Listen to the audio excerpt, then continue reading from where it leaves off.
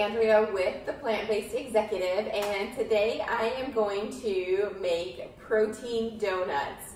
So if you have been following me at all on social media, you will see that I have at least one of these every day at the end of every day as a nice little treat.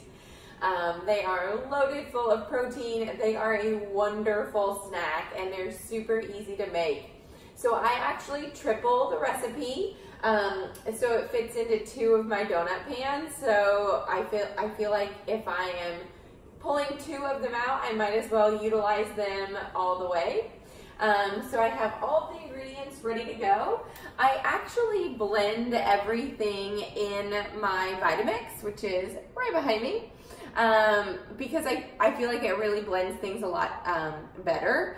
And I just buy oats from the bulk bin and turn it into oat flour. So it saves a couple bucks and it's easy. Um, so let me take you over here and I will show you the rest of this. So I have all the ingredients set out. I have protein powder, which is from TRU, and I really love it. And this time I decided to do birthday cake flavor. We have some flaxseed, we have some vital wheat gluten, uh, baking soda, baking powder, cocoa powder, and then we have um, the oats. So as you can see, these are full oats, and then as soon as I put them in the blender, they will turn into oat flour and water. So that is about it.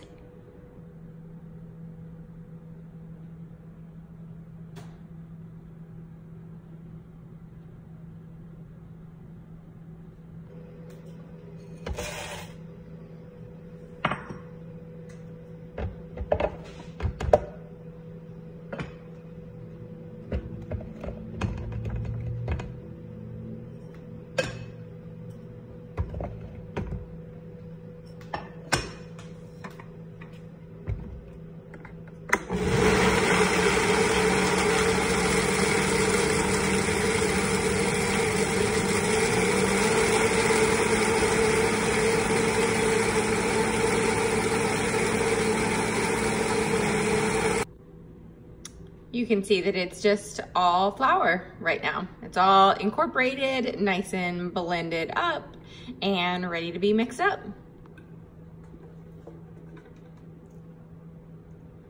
Okay, so I've just dumped in everything from the Vitamix and I am going to add the water. You can also choose to use a plant-based milk if you would prefer that. Um, I just like to use water to save a little bit on my macros and I think the flavor is still great. So just mix this up real good. You can try this with all kinds of different flavors of protein powder also. So just kind of depending on what you want to do. I kind of mix it up pretty much every time just to see if I find a new flavor combination that is my favorite. And I have just recently gotten this birthday cake uh, protein and I'm pretty excited to try this one. So I think it'll be a fun combination. And from here, we will just put these into the donut pans.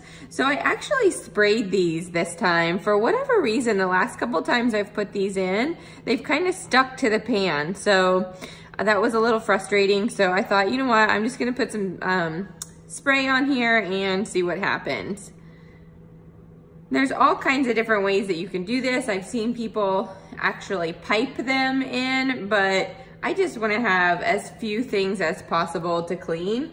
So this is how I do it. They're not the prettiest as I'm putting them in, but it works. And that is really all that matters. I've seen different methods to even these out.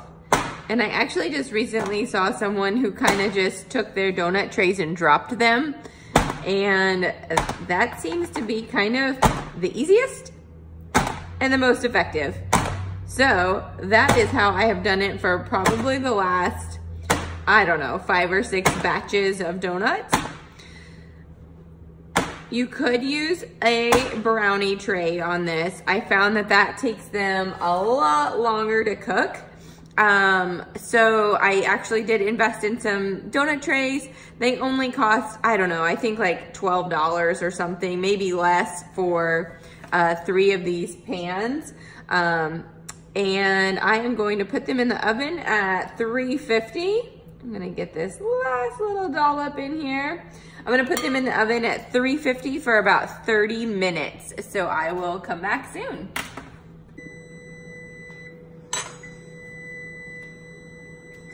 Okay, we are going to see if they are done and they should be this time.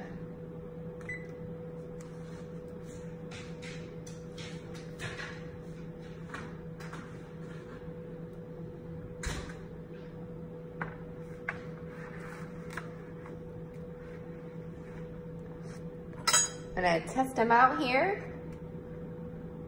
I think these are good. So I am going to let these cool for probably 30 minutes or so before I do anything with them. Okay, so I am about to make the glaze for the protein donuts and it is super simple. It is um, powdered peanut butter, and sugar-free maple syrup. So it's super easy. Just mix these two together and then you have an amazing glaze to go on your donuts.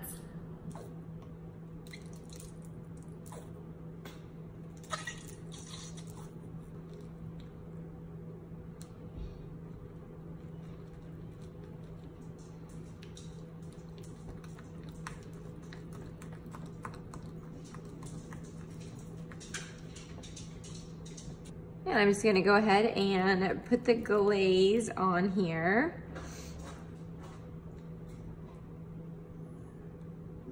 Again, you could put this in a piping bag or something to make it go on a little fancier. Um, I just want it to go on the donut, so I don't really care. I'm not working on presentation awards here.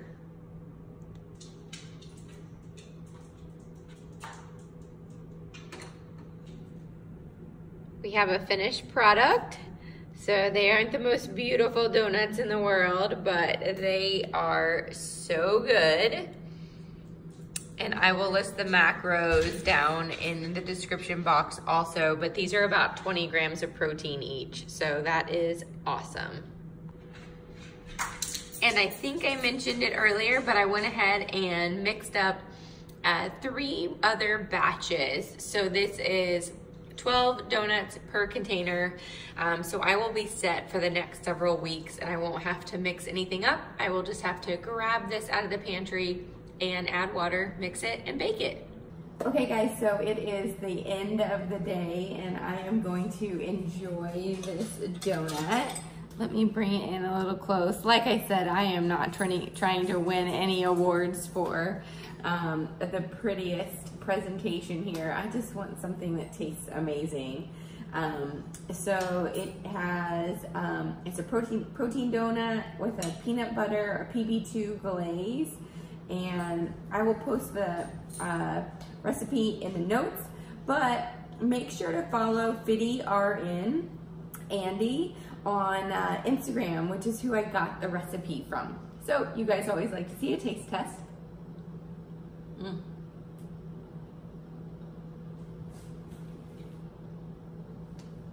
It's awesome, just like always.